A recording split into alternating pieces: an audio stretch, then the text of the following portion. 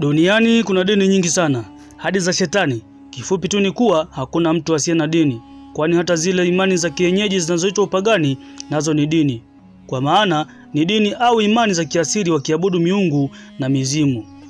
Hao wote hawamkubali Yesu wala Muhammadi kwa upande wa Uislamu. Uislamu na Ukristo wanayo imani ya kuwepo kwa Mungu na vitabu vyenye maonyo na amri zake. Dini hizi kubwa mbili zinamtambua na kutambua uwepo wa mwana wa Mariam na matendo yake, pia ujumbe wake ama mafundisho yake, ukiachilia mbali dini ya Uyahudi ambayo haimtambui vema, japo Wayahudi wanamjua. Upande wa Ukristo wanamchukulia kama Bwana na Mwokozi wa maisha yao, na upande wa Waislamu wao wanamchukulia kama nabii wa Mungu. Yote kwa yote wanamjua na kumkubali, na huwezi kuwa Muislamu pasipo kumkubali Isa mwana wa Mariam. Hii hapa basi ndio miujiza mikubwa kumi kabisa ambayo Nabii Isa ama Yesu aliweza kuifanya wakati yupo duniani pamoja na wanadamu kabla ya kupaa na kwenda zake mbinguni na hadi leo yupo huko. Pia mwana wa Mariam anatarajiwa kurudi tena duniani. Hapo tutakuletea makala nyingine nzuri kabisa ya ujio wake. Hivyo subscribe chaneli yetu na turn on notification kwa kugusa kengele ili itakapokuwa tayari na nyinginezo uweze kuwa wa kwanza kuzipata. Muujiza wa kwanza kabisa wa Yesu au Nabii Isa mwana wa Mariam ni kuzaliwa kwake. Alizaliwa kimeujiza kabisa bila ya baba na mama yake alikuwa bikira. Kweli huu ni muujiza mkubwa na ulimshangaza kila mtu, na hii ndiyo sababu Wayahudi hadi leo hawamkubali, wakiamini kuwa Mariam mama yake na Yesu alizini na Yesu ni mtoto wa zinaa. Wayahudi wana tabia kutokukubali kitu, yaani wabishi sana kwani, kwani kwa ubishi wao waliwaua hata baadhi ya manabii. Sote ni mashahidi walivyombishia Musa na kufanya wanayoyataka wao. Muujiza wa pili ambao ni wa kwanza kuufanya mwenyewe akiwa bado mchanga ni kuongea. Nabii Isa ama Yesu alizungumza kumtetea mama yake baada ya mama yake kuzongwa alipokuja na mtoto mchanga ambaye hana baba.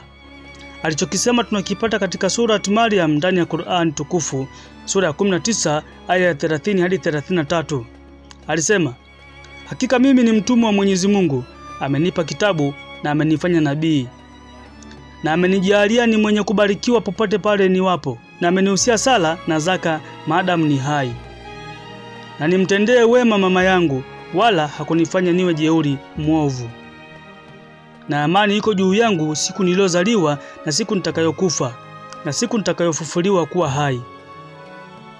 Basi hapo watu wakashangaa sana juu ya kusemezwa na mtoto mchanga kabisa ambaye ni kupakata mikononi.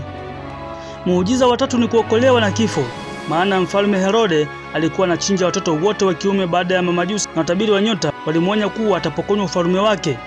Hivyo kila mtoto wa kiume aliyezaliwa aliuawa, ila Mungu akamwokoa Yesu au Isa mwana wa Mariam ambapo Yesu alihamishwa hadi Afrika katika nchi ya Misri ili anusuru maisha yake. Huu ni muujiza mkubwa kwa maana mamlaka zilihakikisha watoto wote wa kiume waliozaliwa kipindi hicho waliuawa, lakini Yesu yeye ikashindikana, maana aliweza kuokolewa. Muujiza wa nne ni kupewa utume akiwa bado mdogo, kwani alianza kuhubiri na kufikisha neno la Mungu na kufundisha alipofikisha umri wa miaka 30 tu. Kwa ada huwa ni miaka 40 lakini yeye alianza kupata ufunuo akiwa na miaka 30. Muujiza wa tano ni kuponyesha magonjwa ya aina mbalimbali kama vile ukoma, upofu, uziwi na mengineo mengi. Muujiza wa sita ambao ni mkubwa aliofanya ni kufufua wafu. Aliwanyanyua watu waliokufa na kurudia uhai na familia zao zikafurahi, japo mamlaka zilikasirishwa sana na matendo yake hayo aliyokuwa akiyafanya. Muujiza wa saba ni kutembea juu ya maji. Yesu mwana wa Mariam aliwashangaza sana wanafunzi wake kwa kutembea juu ya maji, kitu ambacho sio kawaida kwa binadamu wa kawaida. Kwa hiyo huo ni muujiza mkubwa sana. Muujiza wa nane, Yesu mwana wa Mariam alipokuwa kwenye mashua na wanafunzi wake, ghafla ilitokea dhoruba kali ya mawimbi na upepo mkali, ambapo mashua karibu izame na wanafunzi wake kwa woga walipiga kelele, lakini yeye aliamuru maji na upepo kutulia, vyote vikatii. Hapo wanafunzi wake wakabaki wanashangaa, huyu ni mtu wa aina gani? Yaani mapepo anamwogopa hadi maji nayo yanamtii. Basi wakabaki tu wanashangaa. Muujiza mwingine wa tisa ulikuwa ni kuwatosheleza chakula zaidi ya watu elfu tano. Watu walikuwa wengi wakimfuata kila aendako, wakafika mahali njaa zikawa zinawauma na kulikuwa kuna chakula kiduchu sana, yani kidogo sana. Hapo aliomba tu na kukibariki kile chakula kidogo. Chakula kile kiliwatosha watu wote, yaani kwenye kapu ukichukua samaki mmoja hawaishi, na mikate vile vile. Na muujiza mkubwa wa kumi ni kupaa kwenda mbinguni akiwa hai na macho ya watu yakiwa yanashuhudia huyo anapotelea mawinguni. Jambo hili kwa watu wa kawaida haliwezekani, maana utapaa kwa msaada wa chombo fulani. Jambo hili kwa watu wa kawaida haliwezekani, maana utapaa kwa msaada wa chombo fulani tu, lakini si kwa mwili wako tu wa kawaida. Hiyo ni baadhi ya miujiza ya mwana wa Mariam, lakini ipo mingi tu ambayo mingine tunaijua na mingine hatuijui wala hatukufahamishwa, na Mungu ana makusudio yake. Lengo la miujiza yote hiyo ni binadamu waweze kumwamini na kumfuata, maana maana binadamu huwa wakubali jambo hadi walione kwa macho yao mawili. Tukumbuke kuwa wana wa Israeli ni wabishi sana, lakini pia tukumbuke walivyomsumbua Musa japo aliwatoa utumwani.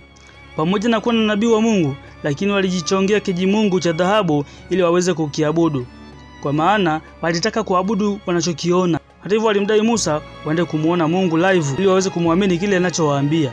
Bila miujiza, wengi wasingemkubali kabisa Isa mwana wa Mariam, japo hadi leo Wayahudi hawamkubali kabisa na wanadini yao ya Kiyahudi. Hadi leo ni wabishi, kwani wanao dini yao ya Kiyahudi na kitabu chao ambacho sio Qur'ani wala Biblia. Lengo la makala hii sio kuonesha dini ipi sahihi na ipi sio sahihi, bali kuonesha jinsi dini hizi mbili, Uislamu na Ukristo, zinavyomkubali Yesu mwana wa Mariam, japo zipo tofauti kidogo. Kwa Waislamu wanamjua kama mtume wa Mungu, lakini kwa, Wakristo wao wanamjua kama Bwana na Mwokozi wao, lakini dini zote zinakubaliana kuwa atarudi tena, japo hapo kuna tofauti kidogo pia. Tukuahidi tu kuwa tutakuletea makala nyingine juu ya ujio wake wa pili hapa duniani.